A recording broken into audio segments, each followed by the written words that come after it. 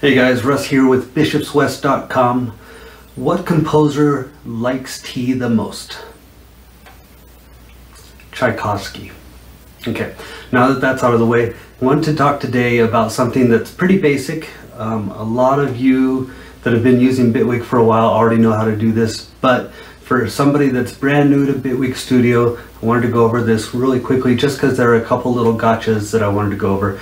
It is how to import tracks into Bitwig to make a remix. So let's get to it.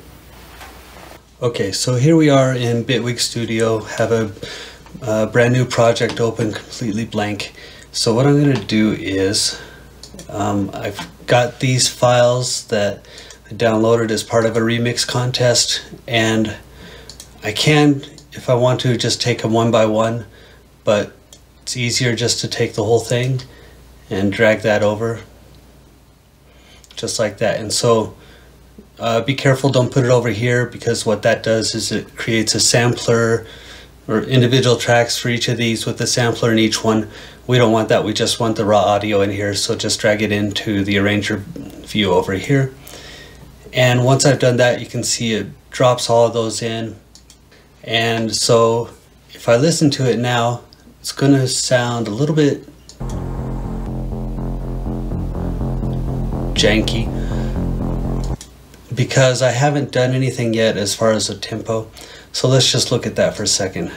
If I click on each clip, you'll see that it kind of guessed at the tempo for each one. This one says 129.29, this one 77.32, 160, uh, 79.79, which is actually the closest because uh, part of this contest they provided the tempo that each of these stems should be at. And so I'm going to just double or you know click the first one and then shift click to select all of them.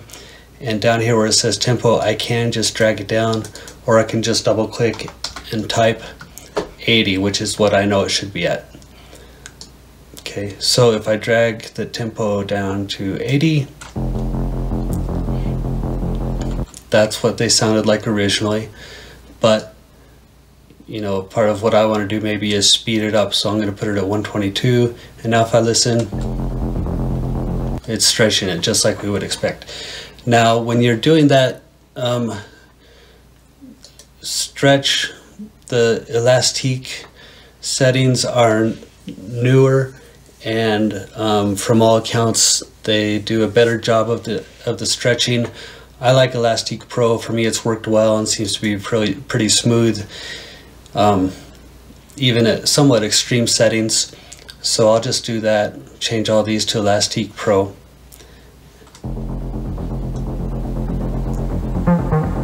Okay.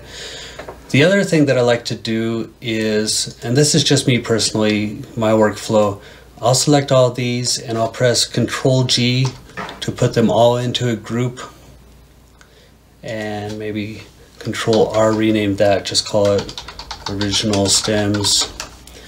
And then when I want to work with one so say I want to work with the bass I will just take this and drag it to a new track maybe control drag to, to copy it and then I can put this up in my mix. And what that allows me to do is I can keep all these oh, how do I do that anyways, what that allows me, allows me to do is to, um, I must have control dragged again. Anyways, it allows me to keep all these in a group that I can mute.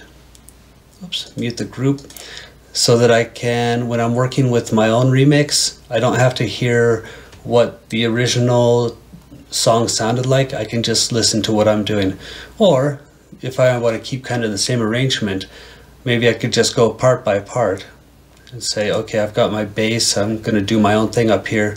So I'm going to mute out the bass down here and then I can listen to all the tracks except the bass and just have my own bass part going up here to see how that sounds together.